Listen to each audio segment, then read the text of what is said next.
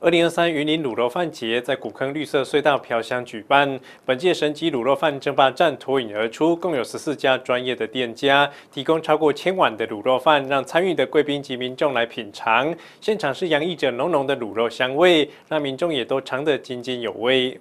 排队人潮满满，卤肉饭的香气飘散在卤肉饭节的现场。这次云林卤肉饭节在专业店家组拿到冠军的是云林虎尾的卤肉村店家表示，往年都会有来报名参加，今年总算是拿到冠军，相当的开心。对，就是不是我煮的，是老板煮的。老板对卤肉饭很坚持，他已经煮了很好几十年了，因为他很爱吃卤肉饭。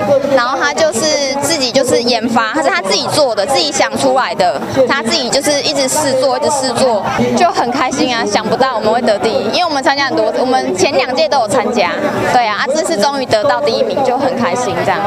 云林县是农业大县，尤其米、酱油以及猪肉的美味更是丁杠五名虾 A 杠熊出名。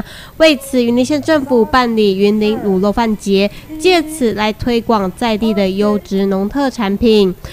啊，云林县是台湾的粮仓，也是最大的畜产中心哦，所以我们已经连续举办了三年的神级乳肉饭的一个比赛哦。那今年是第三年哈，那这当中呢，我们呢很多的这些民间的高手，还有专业的店家都来参赛哦，所以非常难得啊。透过评审委员呢，啊，非常啊啊非常认真的哈，到每一个店家去哦，看看它的安全跟卫生，还有它整个的啊烹煮的这个技术，还有它所用的食材啊。那我想。讲它所用的食材都是我们在地云林县最好吃的米呢哈，以及我们最安全健康的猪肉，那还有最最香、最纯、最浓的酱油哈。那这是呢啊烹煮卤肉饭最重要的三大元素，通通是在云林。所以呢，云林呢希望呢介绍给哈啊所有全台的民众，来到云林一定要吃什么呢？一定要吃我们最道地的卤肉饭哈。卤肉饭节活动现场有超过二十家店提供上千碗的卤肉饭，让民众免费。品尝外，并还有各种趣味游戏，